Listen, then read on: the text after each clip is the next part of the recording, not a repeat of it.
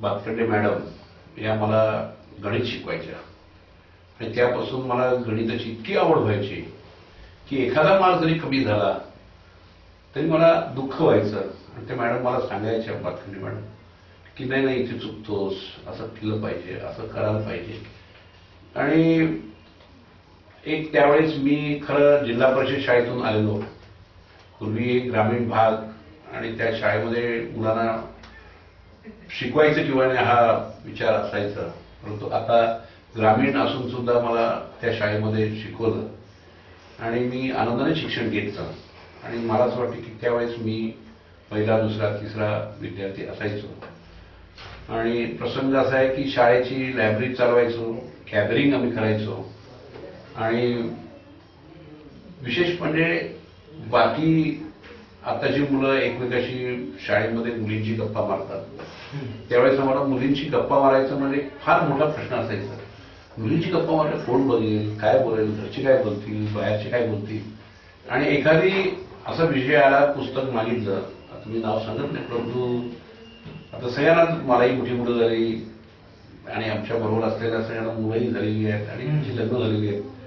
परंतु एक मला आता मला पुस्तक दिलं त्यावेळेस वाचायला एका मैत्रिणीने त्यावेळेस मला असा हात थरथरायला लागला अरे बापरे काय? नुसतं म्हणजे बाकी काही नव्हतं पण पुस्तक दिला तरी मला हात थरथरत होता. आणि आम्ही आधी अशा कधी आणि आता भेटायला तर असं वाटतं की आपण गप्पा माराव्यात. त्यावेळेस मारल्या नाही आता एकत्र यावं. गप्पा मारल्या पाहिजेत. आणि तो प्रसंग जो आहे लायब्ररी चालवत असताना तो मला अजून स्मरणात आहे. की मग काय मुख्याध्यापक की माझी या शाळेतली सेवेला सुरुवात झाली. तेव्हा ते पहिले आमचे सगळ्यांचे आवडते गावाचे आवडते असे पिके भातखंडे सर. की खरोखर मला कौतुक वाटतं की माझं मलाच की त्यांच्या काळामध्ये मी या शाळेत रुजू झालो. आणि दुसरं असं की माझ्या अंगीच्या ज्या कला होत्या त्याची पारख त्यांनी केली. म्हणजे मी असं म्हणेन की शिक्षक पारखून कसा घ्यावा ही कला त्यांच्याजवळ होती. आणि दुसरं असं की त्यांनी शिक्षकाच्या अंगी असलेले गुण पारखून त्या त्याप्रमाणे त्याला प्रोत्साहन देण्याचं काम केलं. आमच्या इथे अनेक शिक्षक डीएड झालेले. त्यांना बीएड करून घेतलं कोणी एम ए करून घेतलं बीएड करून घेतलं. म्हणजे शिक्षकांच्या मागे लावून ते त्यांची गुणवत्ता शैक्षणिक गुणवत्ता वाढवण्याचं त्यांनी खूप काम केलं. आता मी इथे आलो तर चित्रकला शिक्षक आणि एक संगीत शिक्षक म्हणून आलो.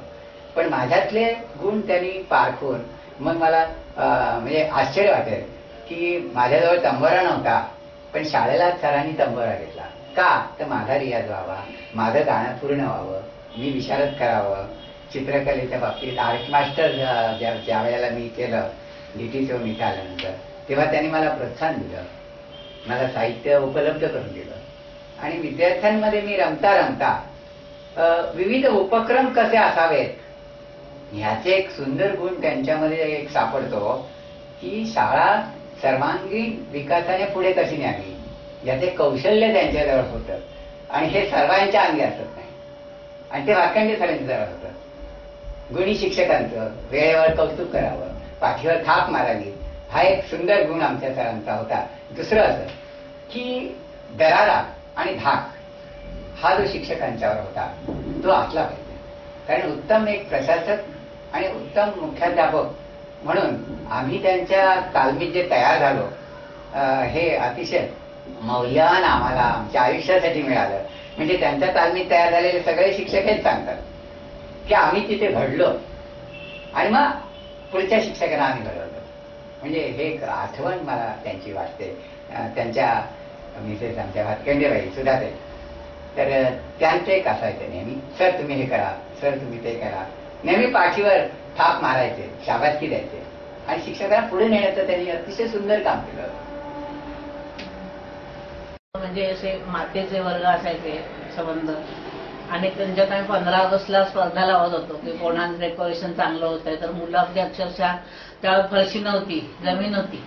तर ते सगळं व्यवस्थित हे करायचे डेकोरेशन हे मुलं जमीनचं सारवून काढायचे. इतकं सगळं छान कष्ट करून मुलं हे करायची. कॅम्पही त्यावरचे आमचे. तीन तीन दिवसाचे असायचे. मुलं हौसेनामध्ये तीन दिवस राहायची. आता जास्त संख्या वाढल्यामुळे सर ते कमी झाले. एक एक दिवस एक दिवस असतो म्हणून हे झालं.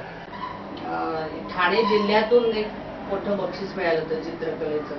तर त्यावेळी मला एक सगळ्यांसमोरनं उभं राहायला भीती वाटायची. पण त्यावेळी मला एवढं बक्षीस मिळालं मोठं म्हणून शाळा सुटल्यावरनं असं सगळ्यांसमोर उभं केलं. ते सगळे शिक्षक आणि त्यांच्यासमोर सगळ्या मुलांच्या समोर मी. मला इतकी भीती वाटली की बापरे सगळ्यांच्या समोर आपण उभं राहायचं. खरं माझा तो सन्मान होता कारण मला बक्षीस मिळालं होतं आणि माझा सत्कार केला होता. अनेक शिक्षकांनी मला बक्षीस सुद्धा दिलं. तर मला त्यावेळी रडायलाच यायला लागलं की मला असं वाटलं की आपण इतक्या सगळ्यांच्या समोर उभं राहायचं.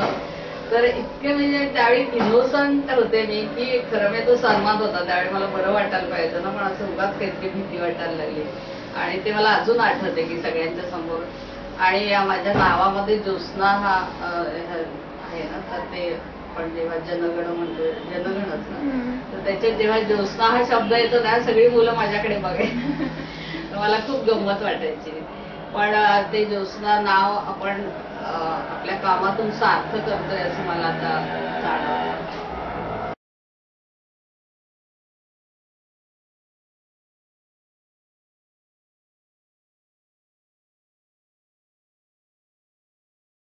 बदलापूर नगरपालिकेचा प्रथम नागरिक. त्याच्या आधी या आदर्श विद्या मंदिराचा एक विद्यार्थी म्हणून मी आपणा सर्वांना इथे आलेले सर्व माझे आजी माजी विद्यार्थी शिक्षक अनेक क्षेत्रातून मान्यवर आलेले बदलापूर बदलापूरच्या बाहेर काही देशाच्या बाहेर गेलेले असतील ते आलेले आहेत. या सर्व माझ्या मित्रपरिवाराला विद्यार्थी मित्रांना मी शुभेच्छा देऊ इच्छितो की आज हा अतिशय आनंदाचा क्षण आपण या ठिकाणी घेतलेला आहे. आपण या ठिकाणी आलेले आहेत. मी बदलापूर नगरपालिकेच्या वतीने आणि शहराच्या वतीने आपलं मनापासून स्वागत करतो आणि अभिनंदन सुद्धा करतो. आपण या कार्यक्रमामध्ये सहभागी झाले. अशाच पद्धतीचे कार्यक्रमामध्ये आपण वेळोवेळी सहभागी व्हावा. आपल्या सर्वांच्या मनोकामना पूर्ण व्हाव्या अशी ईश्वरचरणी प्रार्थना करतो. आणि माझी दोन शब्द